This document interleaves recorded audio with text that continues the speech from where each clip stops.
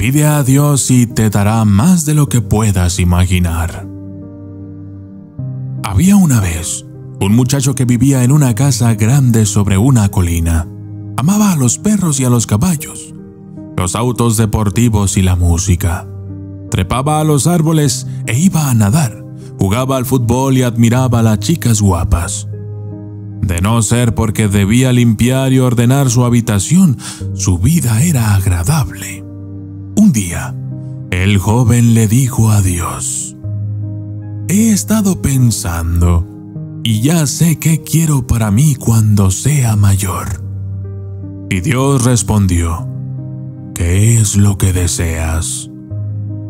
Quiero vivir en una mansión con un gran balcón y un jardín en la parte de atrás, y tener dos perros San Bernardo.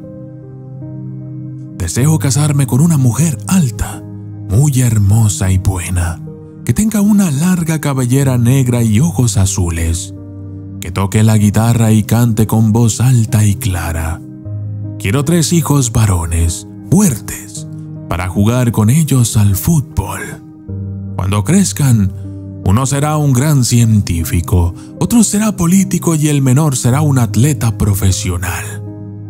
Quiero ser un aventurero que surque los vastos océanos, que escale altas montañas y que rescate personas. Quiero conducir un Ferrari rojo y nunca tener que limpiar y ordenar mi casa. Es un sueño agradable, dijo Dios quiero que seas feliz. Un día, cuando jugaba al fútbol, el chico se lastimó una rodilla. Después de eso, ya no pudo escalar altas montañas, grandes, y mucho menos surcar los vastos océanos. Así, sin ni siquiera trepar árboles, estudió mercadotecnia y puso un negocio de artículos médicos. Se casó con una muchacha que era muy hermosa y buena, de una larga cabellera negra. Pero era de corta estatura, no era alta, y tenía ojos castaños, no azules. No sabía tocar la guitarra y mucho menos cantar, pero preparaba deliciosas comidas chinas y pintaba magníficos cuadros de aves, y cocinaba aves sazonadas con exóticas especias. A causa de su negocio, el hombre vivía en la ciudad, en un apartamento situado en lo alto de un edificio, desde el que podía ver el océano azul y las titilantes luces de la urbe. No contaba espacio para dos San Bernardos, pero era dueño de un gato esponjado. Tenía tres hijas, todas muy hermosas. La más joven, que debía usar silla de ruedas, era la más agraciada. Las tres querían mucho a su padre, no jugaban al fútbol con él, pero a veces iban al parque y disfrutaban lanzando un disco de plástico. Excepto la pequeña, que se sentaba bajo un árbol y rasgueaba melodiosos acordes en su guitarra, entonando canciones encantadoras e inolvidables. Ganaba suficiente dinero para vivir con comodidad, pero no conducía un Ferrari rojo, en ocasiones tenía que recoger cosas en su casa, incluso cosas que no eran suyas, y ponerlas luego en su lugar. Después de todo, tenía tres hijas. El hombre despertó una mañana y recordó su viejo sueño. Estoy muy triste. Le confió a Dios. ¿Por qué? Este respondió porque soñé casarme con una mujer alta, de cabello negro y ojos azules, que supiera tocar la guitarra y cantar. Mi esposa no toca ni canta, tiene los ojos castaños y no es muy alta. Tu esposa es muy hermosa y buena, crea cuadros maravillosos y sabe cocinar delicias. Pero el hombre no lo escuchaba. Estoy muy triste le confesó a su esposa un día. ¿Por qué? Porque soñé vivir en una mansión con un balcón y un jardín en la parte de atrás y que tendría dos San Bernardos. En lugar de eso, vivo en un apartamento en el piso 47. nuestro apartamento es muy cómodo y podemos ver el océano desde el sillón de la sala. Tenemos amor, pinturas de aves y un gato esponjado, por no mencionar a nuestras tres hermosas hijas. Pero el hombre no la escuchaba. Estoy muy triste, le dijo en otra ocasión en una de sus visitas a su psicoterapeuta. ¿Por qué razón? Porque soñé con ser un gran aventurero y en vez de ello, soy un empresario calvo con la rodilla lesionada.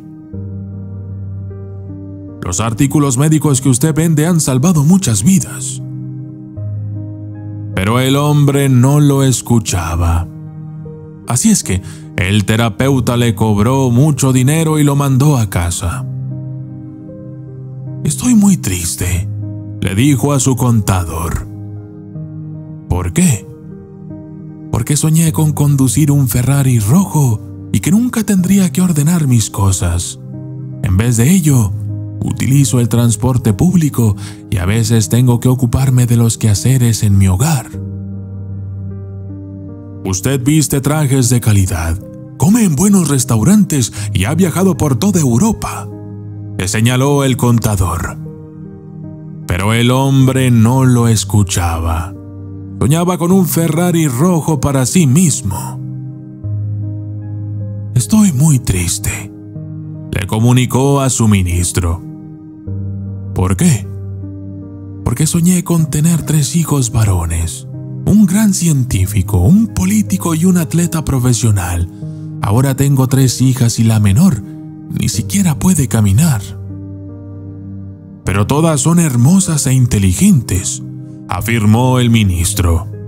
Te quieren mucho y además han sabido aprovechar la vida. Una es una enfermera, otra es pintora y la más joven da clases de música a los niños. Pero el hombre no escuchaba. Se puso tan melancólico que enfermó de gravedad. Yacía postrado en una blanca habitación del hospital, rodeado de enfermeras, varios cables y mangueras conectados a su cuerpo a máquinas parpadeantes que alguna vez él mismo le había vendido a ese mismo hospital. Estaba triste, muy triste. Su familia, sus amigos y su ministro se reunieron alrededor de la cama. Ellos también estaban profundamente afligidos. Solo su terapeuta y su contador seguían felices. Y sucedió que una noche, cuando todos se habían ido a casa, salvo las enfermeras, el hombre le habló a Dios. ¿Recuerdas cuando era joven y te hablé de las cosas que deseaba? Sí, fue un sueño maravilloso. ¿Por qué no me otorgaste todo eso? Pude haberlo hecho, pero quise sorprenderte con cosas que no había soñado. Supongo que has reparado en lo que te he concedido.